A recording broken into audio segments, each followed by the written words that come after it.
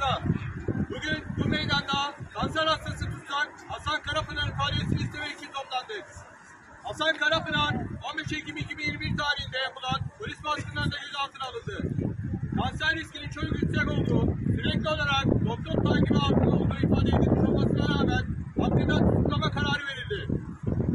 Ardından geçen 7 ay sonunda geçtiğimiz günlerde Hasan Karapınar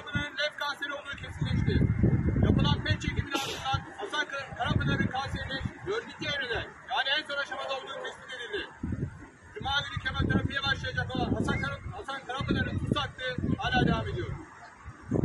Kanser hastası insanları hiçbir delil olmadan yalnızca gizli tanığın ağzından çıkan yalanlarla tuza giden faşizm, tutsakların tedavelerini engelleyerek, geciktirerek kalp dinlemelerinin yolunu açmaktadır. Kemoterapi gibi ağır bir tedavi gören ve çok özenli bir bakım gerektiren kanser hastalarının yeri uşaklığını yaptınız, emperyalizmin değişik güçleri değildir. Siz önce hadsizcileri, tecavüzcüleri tutuklayacaksınız. Bu haksız izleyenleri. Sonuna kadar haykırmaya devam edeceğiz.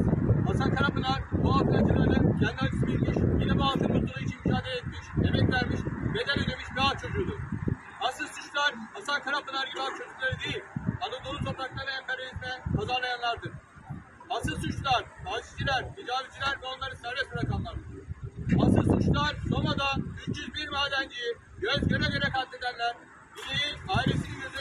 Öldürenlerdir.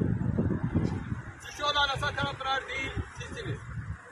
Kendi yasalarını size bir kez daha hatırlatıyoruz. İnfaz Kanunun 16. maddesi tutsağın hapis cezasının iyileşinceye kadar geri bırakılacağını söylemektedir. Hastası tutsak Hasan Karapınar derhal tahliye edilir. Siyasi tutsakların hastalıklarına dair bir silah olarak kullanarak onların düşüncelerini teslim